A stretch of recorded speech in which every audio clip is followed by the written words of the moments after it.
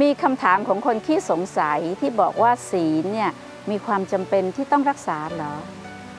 หมดสงสัยได้เลยค่ะ ถ้าไม่รักษาศีลคุณทุกข์ เพราะคุณจะทำอะไรประมาทขาดสติ เหมือนเรามีศีล เพราะเราตระหนักถึงความทุกข์อันเนื่องมาจากการผิดศีล ไม่ว่าจะเป็นศีลห้าศีลแปดศีลสิบหรือศีลที่มากกว่านั้น เราก็ต้องบอกว่ามีไว้เพื่อทำให้เรางดงามได้ศีลเป็นอาภรณ์ลูกศีลจะทำให้เราตระหนักถึงความทุกข์ อันเนื่องมาจากการผิดศีล เราจึงต้องมีเสื้อผ้าที่ใส่เอาไว้ ให้เรารู้สึกไม่อับอายต่อการใช้ชีวิตในโลกใบนี้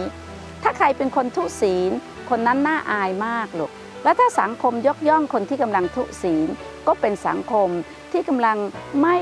มีความละอายและเกรงกลัวต่อบาปมันจึงเป็นความหยาบคายต่อโลกใบนี้จริง ๆ การมีศีลก็เพื่อทำให้โลกใบนี้ไม่หยาบคาย เพราะเราตระหนักถึงความทุกข์อันเนื่องมาจากการแสวงหาผลประโยชน์เกินความจำเป็น เราจึงสัญญากับตัวเราว่าเราจะให้ได้มากกว่าที่เคยให้ เห็นหรือยังคะว่าศีลงดงามขนาดไหน หรือถ้าเราบอกว่า เพราะเราตระหนักถึงความทุกข์อันเนื่องมาจากการฆ่าการเบียดเบียน การสัมสอนทางเพศ การพูดในสิ่งที่ไม่จริง และทำให้คนอื่นทุกข์มันก็จะทำให้เรารู้ว่า เราจะสัญญากับตัวเองว่าเราจะใช้ชีวิตอย่างมีสติปัญญา เพื่อให้เราเป็นผู้ที่มีศีลมีธรรม เป็นดอกไม้ที่หอมทวนลม เพราะเรารู้เหตุรู้ผลในการใช้ชีวิตบนโลกใบนี้ ถ้าเราเป็นคน